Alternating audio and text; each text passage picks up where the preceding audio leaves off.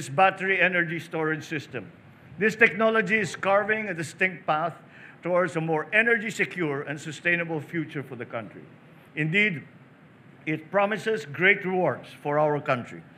Not only will we be able to generate sufficient, reliable, and clean energy, leading to more affordability of energy, and of course, generate jobs for our people, green jobs in the process,